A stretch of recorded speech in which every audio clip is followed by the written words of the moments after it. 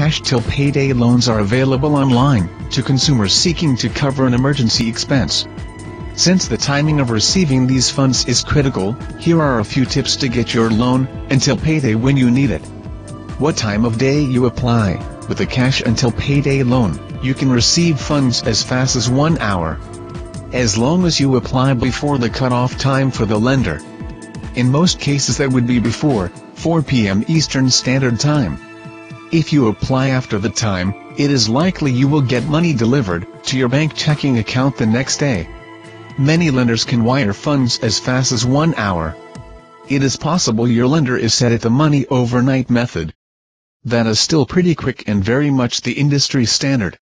For the quickest funding we recommend applying online as early in the morning as possible. Have all of your financial information at hand when the online application is filled out.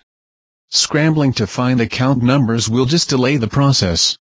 Keep in mind when applying for a cash till payday loan, if you apply on a banking holiday or weekend you will not receive your money until the following day.